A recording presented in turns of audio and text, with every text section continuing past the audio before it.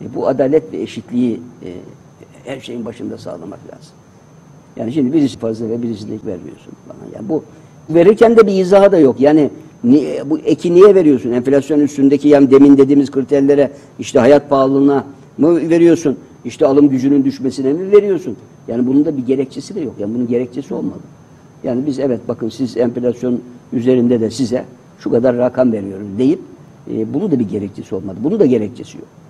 Yani bunun da bir gerekçesi olarak bunun masaya yatırılması e, ve bu e, bakın şimdi Bankalar Birliği yeni bir şey yayınladı. Yani bir trilyonu geçmiş e, bankalara kredi ve kredi kartı borcu. Emeklinin Şimdi, mi? e, yani emeklinin şimdi 35 milyon kişi e, bu yar, e, yararlanan.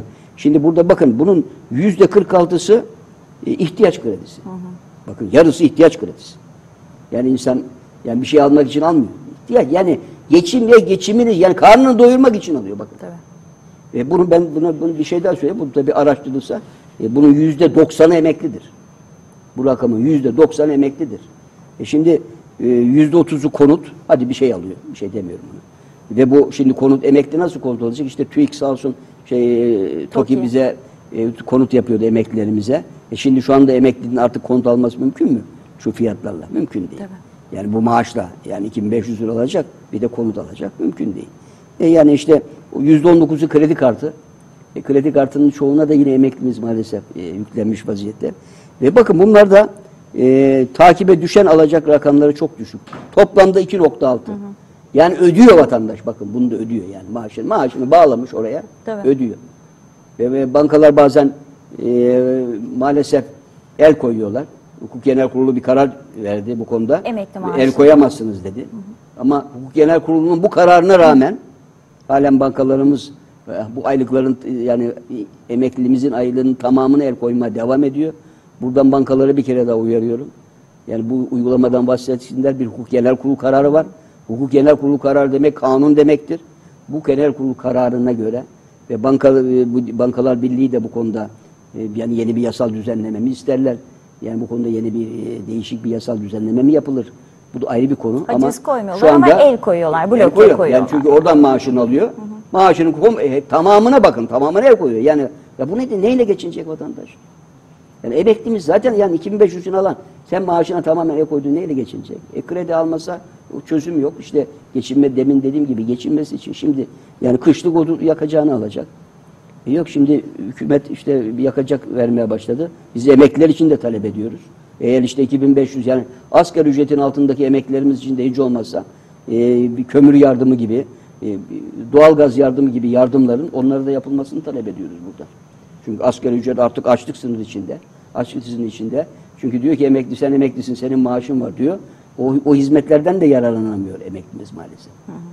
Yani bunları da e, bir e, emeklilerimize bir nebze bir yardım olarak bunların da onlara da verilmesi noktasında e, gerekli düzenlemelerin yapılmasını da talep ediyoruz. Evet. Çünkü ihtiyacı var. Yani bu kış inanın bir sürü emeklimiz biz yani takip ediyoruz çünkü içindeyiz.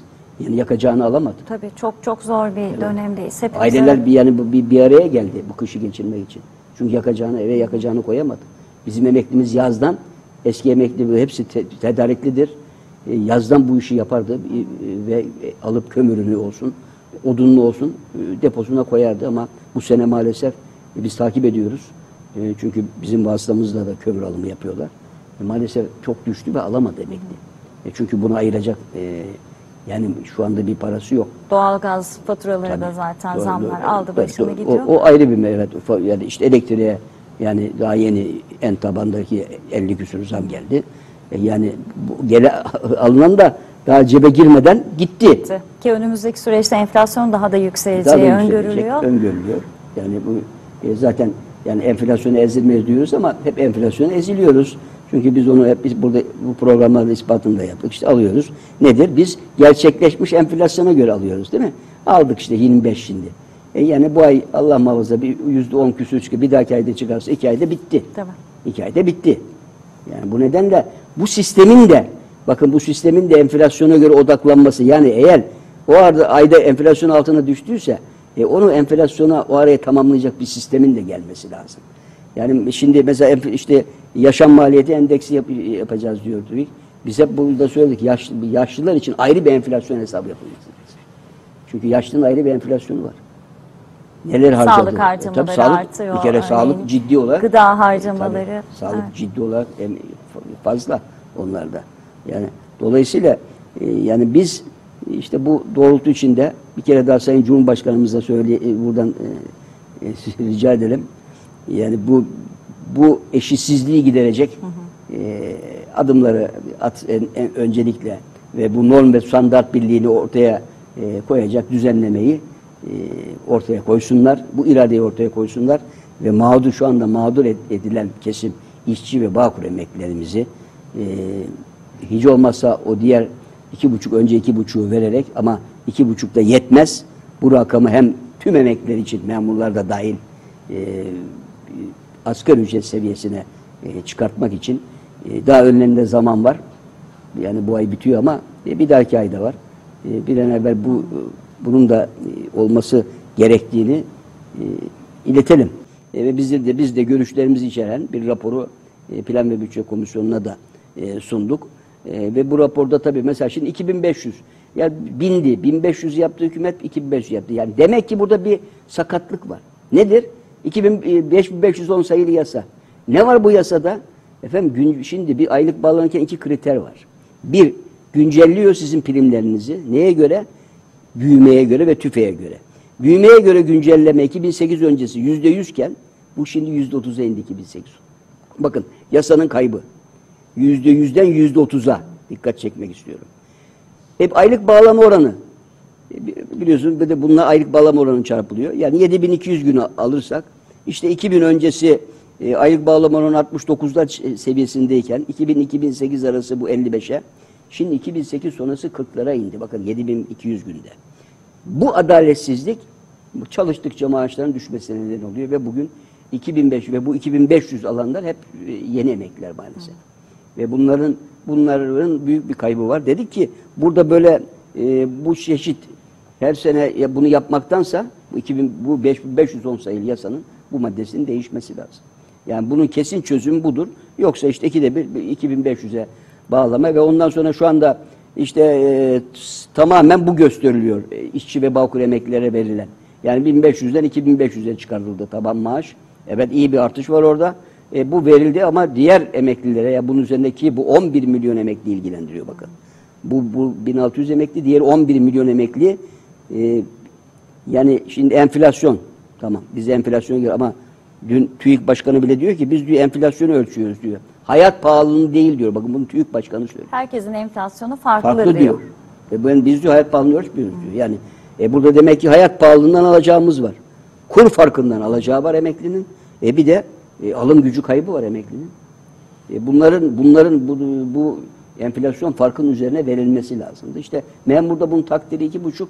Yani tabii çok az bu da. Yani Yüzde iki iki buçuk. buçuk, evet. Yani yüzde iki buçuk çok az. Yani bunun bunun belli bir e, yani insanca bir rakamda belirlenmesi gerekiyordu.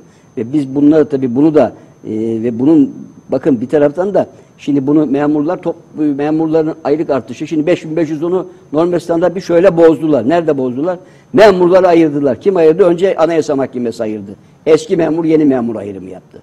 Sonra e, memurların artışını işçiler gibi 6 aylık enflasyondan çıkartarak toplu e, sözleşmeye e, bağladılar. Şimdi eski yasada bir hüküm vardı. Eğer işçi ve bağkurla memur arasında bir fark oluşursa o fark yani hangisinde olursa diğerine yansıtılır diye bir hüküm vardı. Biz 5510 çıkarken bu maddenin kalması için çok uğraş verdik ama muvaffak olamadık. E, bu bunun mecliste bu maddenin de eklenmesini çünkü bunun çözüm yeri meclis. Yani mecliste yasa çıkarken işte biz de komisyondaydık dediğim gibi plan bütçe komisyonunda. Bunun buraya eklenmesini hiç olmazsa yani bu adaletsizliğin ve bu eşitsizliğin yaratılmamasını e, söyledik ama o, e, orada da e, başarılı e, olamadık. Yani şimdi e, burada e, bu eşitsizlik e, yani bakın açlık sınırı biliyorsunuz 4000'ni geçti 4013 e, yoksulluk 13.000'i geçti ve e, Sayın TÜİK Başkanı yine Türk İş'in yaptığı bu çalışmanın da doğru olduğunu ve kendilerinin de bundan sonra bir yaşam memur, e, yaşam maliyeti endeksi yapacaklarını söyledi. TÜİK Başkanı söyledi bunu. Yani demek ki ve Türk İş'in bu, bugüne kadar pek bu Türk İş'in şeyi ya şöyle itiraz ediyorlardı. Bu itirazdan çıktı. Yani TÜ- Türk İş'in yaptığı bu rakamlar doğru rakamlar. Bunlar insan. E şu anda Ya bakın taban maaşlarına şöyle bir e, göz, göz atalım isterseniz. Yani şimdi 2500 işçi ve Bağkur emeklisinde, memurda da 4000 küsur. Bakın hepsi yani açlık sınırının altında yani. Tabii. Taban maaşların hepsi altında ve taban maaşından aylık alan ciddi bir rakam var.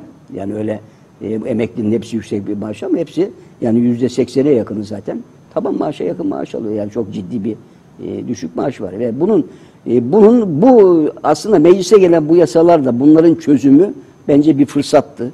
E, ama e, yine bu fırsatı e, kaçırdık.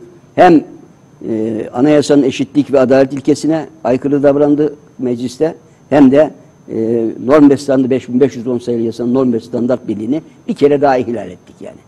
Şimdi dolayısıyla e, hakikaten iş çalışanlara, kamu çalışanlarına ver iki buçuk verirken bunun işte işçi ve bağkur emeklilerine de yansıtılması konusunda e, bir yasa teklifi gelir mi? E, tabii bunu bilemiyoruz ama biz e, şu anda bekliyoruz bazı yeni yine bir düzenleme olabileceğini. Sayın Cumhurbaşkanımızın e, bunu bu bir düzeltme yapabileceği umudundayız. Bunu bekliyoruz. Olmazsa zaten e, bunun yasal mücadelesinde başlatacağız. Çünkü bu anayasanın hakikaten eşitlik ilkesine e, aykırı. E, bunun tabi bu yani dediğim gibi bu iki buçuk yani işte memurlar diyor ki ya biz iki buçuk bize çok mu gör değil yani biz bakın açıkça söylüyoruz. İki buçuk az yani iki buçukla bir şey olmaz. Biz asgari ücretteki artış kadar artış bekliyorduk. Bu memura da böyle bekliyorduk, işçiye de böyle, bağkurluya da böyle bekliyorduk. Çalışan kamu işçisine de böyle bekliyorduk.